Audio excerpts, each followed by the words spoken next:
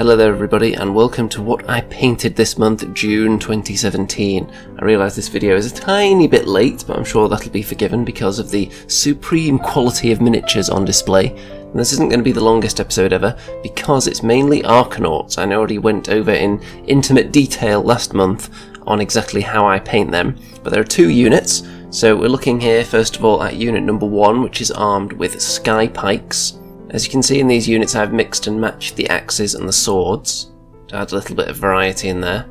You don't get any posture variety but you do get quite a nice selection of poses for the arm positions. I think this blue colour scheme is coming along nicely. I think they look quite tasty. So let's have a look at some close-ups shall we? These close-ups are far more zoomed in than the previous ones I did so you can actually see any tiny little mistakes on these ones. Not that there are a huge amount, and obviously no miniature would ever be scrutinised at this closer level because humans don't have eyes that have this level of zoom. So for example, you can see tiny little specks of the wrong colour in the wrong place that are completely invisible to the naked eye. So I think I should zoom in slightly less far next time. Anyway, I think they still look very tasty. I like the little green dots here and there, which are done with the Waystone green technical gem paint. When you do zoom in this far with the camera though, you do have the option to pick where the focus is and then the others drop out of focus which makes it look fairly cinematic I think. The Skypikes are the only weapons that I've actually applied any green to just because they had what appeared to be the perfect spot for it. You can see there just below the blade.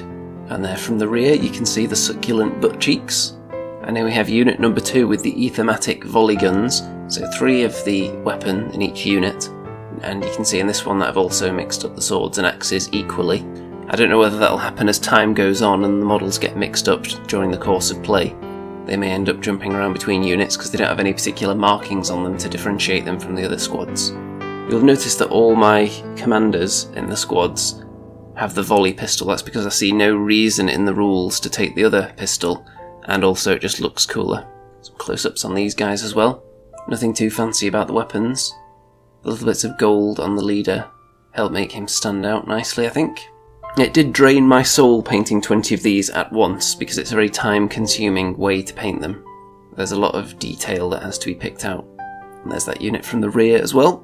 And here's a full image of my entire Kharadron Overlords painted force so far, so you can see the three units of Arkanauts and one Arkanaut Admiral. Next thing I'm working on are 10 Thunderers and one Aether-Khemist, which are on my painting table at the moment, but I took a few weeks off from painting because painting 20 Arkanauts in one go did drain me of all my painting enthusiasm for a little while. However, that doesn't mean I wasn't doing anything. I was doing plenty of miniature assembly in that time because that doesn't eat into my painting enthusiasm at all. So that's allowed to recharge while I'm assembling miniatures. So I put together some more Terminators for my Deathwing, put together a couple more Kharadron Overlord models, and also my Grot tank army for 40k which you will see more of at some point soon. I'm sure it won't take me too long to get round to painting them, because they're not going to be overly difficult, I think. I'm sure my Kharadron Overlord army will be painted slowly but steadily over the next few months. I'll aim to get something done on it each month and then eventually it'll all be finished. But I've got some that's still in their boxes unopened, just because it was cheaper to buy them on release from certain websites than if I'd waited until I wanted to actually do anything with them. Also because most online stores have a threshold for free postage that only comes into effect when you spend a certain amount. And there was one other tiny little thing that I did this month as well, which was to do a square base for this colossal beastie, which is of course Talos from Jason the Argonauts, which I wanted to use as a giant in Kings of War for my Stormcast Eternal Ogre army. So I had to put it on a square base, so nothing too complicated there, just a lot of dry brushing to make that, and then he's actually blue tacked onto that square base. Because his base doesn't have a gap under it for a magnet, and I didn't feel like drilling into it. So there we go, that's everything. Uh, I'm not going to get a huge amount painted in July, I predict, but I should get something finished. And I've definitely been doing plenty of assembly in the meantime. So let me know what you think of the continuing aesthetic of the Kharadron Overlords in blue and white and what you would like to see me work on after my Thunderers are complete, because I've got all the airships, I've got some Sky Riggers, among other things, also plenty of 40k projects, and some more Kings of War stuff as well, coming soon. So until next time, ta-ta, folks.